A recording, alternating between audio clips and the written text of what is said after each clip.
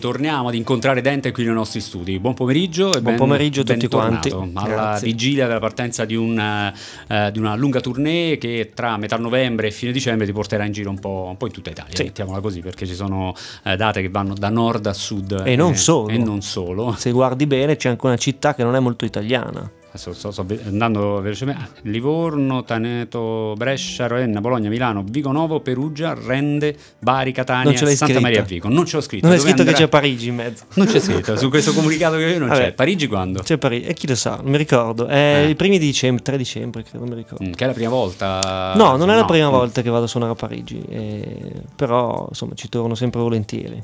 Bene, allora dicevamo del- di, questo, di questo singolo, è uscito, eh, che era brano tra l'altro se non ricordo male proprio d'apertura Sì, dell'album. è il primo Eh, pezzo del disco. Primo pezzo, una canzone molto bella, te lo dicevo a microfoni spenti, è la canzone che preferisco di più di questo, di questo album e in effetti essendo la prima canzone è quella che ti proietta subito nelle atmosfere di quello Sì. che è stato l'album intitolato Almanacco del giorno prima. Eh, è stato ripubblicato come singolo accompagnato in realtà da tre brani live che sono stati scelti in che modo? Allora, abbiamo scelto, praticamente c'è questo live che abbiamo fatto all'inizio del tour, quindi abbiamo fatto questo tour teatrale, nel quale eh, io a metà concerto mi prendevo questa pausa e facevo dei pezzi chitarra e voce. Tutte le sere facevo dei pezzi diversi, chitarra e voce, due o tre. E, mm, e li registravo con un registratore a bobine vecchio, un vecchio registratore a Una roba bobine. vintage, Esatto, che piacciono a me. Certo. E, e da quelle, appunto, da quelle registrazioni su nastro abbiamo tirato fuori questi, questi tre brani che sono andati in questo EP digitale, che è era, un diciamo, controsenso, però. esatto, che, che era però quella- quell'ambito, quel momento diciamo intimo all'interno dei Esatto. tuoi concerti che ti riportava un po' indietro anche ai primi, ricordo un tuo concerto ad esempio al Circo degli Artisti, parlo però veramente di un bel po' di anni fa, Sì. chitarra e voce in maniera così molto minimale. Sì, Eh, sì, che, eh. che esperienza era per te quella di quella parentesi acustica e soprattutto per il pubblico? Ma è stata una, una cosa molto bella. Io um, poi da quando ho cominciato a suonare con la band ho sempre un po' paura a tornare a, suonare chitarra e voce, no? Ti senti meno protetto, Mi diciamo. sento molto meno protetto, ormai sono abituato comunque ad avere una band e mm, in realtà ho fatto tanti anni a suonare chitarra e voce e mm, ho un po' paura di aver perso anche quel- quello smalto diciamo di una volta, di quando il comunque carisma che bisogna avere quando chitarra Era- esatto. bisogna essere un po' impavidi. ero no? molto più spavaldo una Eh, volta, esatto. no? E salivo sul palco con il chitarrino e andavo e facevo le cose. Adesso ho perso un po' quella cosa lì appunto perché suono tanto con la band, però quella, quella parentesi che mi sono preso in teatro mi è piaciuta molto, un po' perché appunto nel teatro veniva molto bene questa cosa di essere da solo, di registrare, registravo proprio io col, col registratore a bobina che era sul palco Ah, proprio schiacciavi il tasto Sì, sì, rec schiacciavo il tasto io, sì, sì, sì. Fantastico. e quindi insomma è stata una bella cosa, poi appunto nel teatro si possono fare queste cose, è il suo bello. Certo, Eh, è un periodo quello di Dente in cui sei riuscito anche a scrivere, eh, stai lavorando su cose, cose nuove, materiale nuovo. Sì, ho qualche cosa, qualche cosa. Ogni tanto non, non- non sono uno che si prende dei periodi per scrivere, scrivo quando mi viene, insomma, nel, nel tempo. E poi quando ho abbastanza canzoni faccio un disco. Quindi non so quando, quando ci sarà abbastanza materiale, per adesso non ce n'è abbastanza, però ogni tanto scrivo qualche cosa, ho qualche pezzo bellissimo scritto. delle vere e proprie hit. Ma sì, ma diciamo, ovviamente scrivo solamente pezzi meravigliosi, dei capolavori. destinati a lasciare il segno. Per quello che riguarda questo mh, diciamo tour eh, che- con il quale appunto tornerai, si chiama Gran Band Epilogo Tour, Sì. questo è il, è il nome, no? Sì, mi- mi piaceva questo nome, mi, mi sembrava il titolo di un disco progressive anni 70, Gran Band Epilogo. no? Esatto, quelle Sembra cose, il consorzio dell'acqua potabile. no? Sì. Quelle- E sì, l'ho chiamato così perché appunto è l'ultima parte del tour di quest'anno e di questo disco, che quindi che chiude il- la vita, diciamo, dal vivo di questo, di questo album che è uscito a gennaio, e perché Gran Band, perché saremo eh, la mia solita band, la, cioè la band che mi ha accompagnato in questo tour, che siamo in cinque, in più avremo tre fiati, quindi c'è una, sezione fiati in più, quindi saremo in otto sul palco e con scaletta un po' insomma rimaneggiata, con- abbiamo preso in mano dei pezzi appunto dove nei dischi ci sono i fiati che eh, dal vivo è un po' difficile Spesso, farli senza i certo. fiati ovviamente, no? quindi possiamo permetterci di fare anche delle cose e poi abbiamo riarrangiato altri pezzi con i fiati.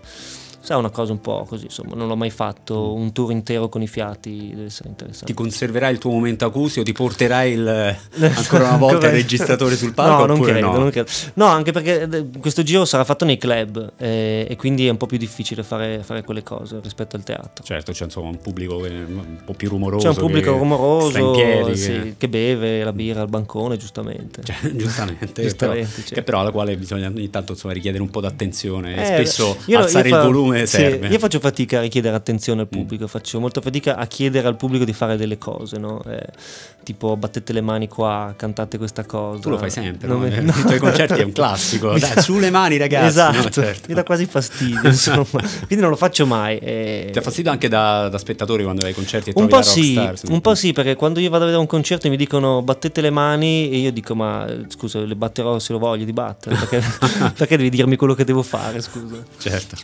Allora, il tour in questo momento non, non prevede Roma, cioè, sto vedendo le per, date. Eh, per adesso non c'è Roma, è l'unica... Semplicemente da, tecnica, diciamo, tecnica. state risolvendo una serie di... Sì, perché è diventato un po' difficile Purtroppo sì, Purtroppo sì, eh sì, E quindi stiamo cercando la location perché giusta. non può mancare Roma, diciamo, No, no, no, assolutamente. Nel grande epilogo Ben Tour no. di, di, Dente, visto che con Roma hai un, un rapporto... Ecco, che, che, rapporto ha Dente con, con Beh, Roma? un ottimo rapporto con Roma. Innanzitutto la città mi piace tantissimo, eh, ci vengo sempre molto volentieri. E poi insomma c'è un, un bellissimo pubblico qua. Eh, è uno dei, dei, dei, più belli che ci sono in Italia. Questo lo dico in tutte le città in cui vado, certo, ovviamente. Certo, è un classico. Vi amo, amo, Vi amo, amo siete il pubblico città. migliore che ho avuto. Sarebbe, sarebbe, da fare una sorta di decalogo su quelle che sono le frasi fatte certo, de, delle certo. rockstar, credo che tra l'altro esista, insomma, una sorta sì. di manualetta al quale attenersi sì, all'inizio sì, della carriera. Tu hai subito invece messo da parte, diciamo. Io sì, no, queste cose non, le, subito di, non le faccio. Di accantonare. So che ti dà, mi ricordo in una delle chiacchierate che abbiamo fatto, ti dà molto fastidio, ad esempio, cantanti italiani che cantano in inglese che tra un brano e l'altro dicono dai ragazzi adesso ci ascoltiamo e poi parte il cantare in inglese sì mi fa un po' sorridere diciamo così eh. no? È tutto un concerto in inglese cantato in inglese e poi tra un pezzo tutto il prossimo pezzo si intitola West West First eccolo dai ragazzi dai ragazzi esatto. ce l'ascoltiamo e, e infatti forse ti avevo anche raccontato quella storia fantastica di un festival che avevo fatto a Bologna dove tanti anni fa eh, dove io ero l'unico che cantava in italiano e tutti gli altri erano mh, band italiane che cantavano in inglese e quindi tra un pezzo e l'altro parlavano in italiano. E io non ovviamente... Tu hai parlato in inglese tra un pezzo e l'altro. certo. Fantastico. Tra un pezzo e l'altro ho parlato solamente in inglese e poi facevo le canzoni in italiano. Li hai spiazzati in una maniera... Sì, mi hanno odiato tutti ovviamente. Come farsi odiare. una cosa stupenda, questa non me l'avevi raccontata no, questa eh. qui, adesso sembra... Avrei, volevo esserci, ecco, eh, questa è la, è la cosa.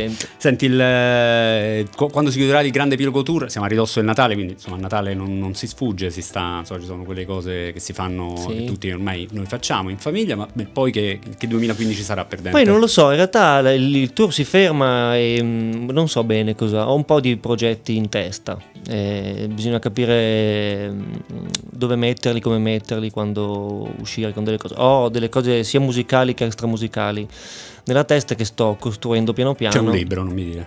No, eh, non, insomma, non, si sa. Alla fine si, non, non, si, si può scappare dal libro. Non si no? può scappare. È un altro di quelli. Vediamo, vediamo, insomma, ho un po' di cose fatte da fare, capiamo un po' il 2015 cosa sarà. E in più mi piacerebbe registrare anche il disco nuovo, che non so quando vedrà la luce. Se, se raggiungo il, il, numero legale per, di canzoni per costruire un disco, lo faccio. Il disco però immagino abbia già un titolo. Inevitabile, no? Eh, ho un titolo di un disco, ce l'ho un titolo di un disco, però ovviamente non, non te lo dico. A te, te, lo, te lo rubano subito. cioè. Grazie a Dente per essere stato con noi, ci vediamo presto a Radio Città Futura. Molto volentieri. Ciao. Ciao ciao.